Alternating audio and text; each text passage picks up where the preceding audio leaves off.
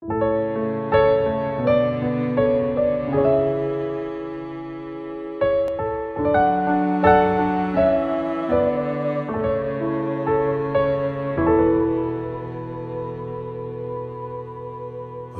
จะครองแผ่นดิน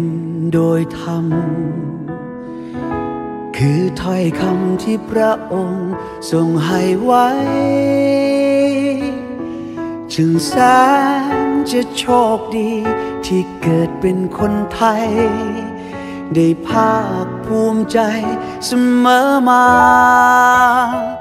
ถ้ามีใครถามทำไมคนไทยถึงรักพระองค์อย่างนี้ แค่ได้ชมพระบารมี ก็ยิ้มทั้งน้ำตา ถ้าหากให้อธิบายเหตุผลนานา คงต้องใช้เวลาเท่าชีวิตนี้ เพราะท่านทำเพื่อคนไทย ด้วยธรรมะของพระราชา หวังให้เราชาวประชาอยู่ดีกินดี ท่านต้องเหนื่อยเพราะงานหนัก ไม่เคยพักจวบจนวันนี้ จึงโชคดี ราชาผู้ทรงธรรม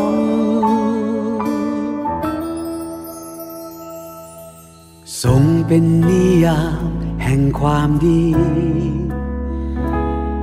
เป็นอัญมณีที่เลิศล้ำสดสวยใสกระจ่างสว่างด้วยธรรม ด้วยน้ำพระทัย ที่เมตตา ถ้ามีใครถามทำไมคนไทยถึงรักพระองค์อย่างนี้ แค่ได้ชมพระบารมี ก็ยิ้มทั้งน้ำตา ถ้าหากให้อธิบายเหตุผลนานา คงต้องใช้เวลาเท่าชีวิตนี้ เพราะท่านทำเพื่อคนไทย ด้วยธรรมะของพระราชา หวังให้เราชาวประชาอยู่ดีกินดี ท่านต้องเหนื่อยเพราะงานหนัก ไม่เคยพักจวบจนวันนี้ จึงโชคดี ที่แผ่นดินนี้ มีราชาผู้ทรงธรรม